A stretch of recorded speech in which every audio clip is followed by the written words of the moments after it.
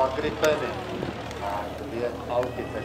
Dvakrát je 39 C a dvakrát 159.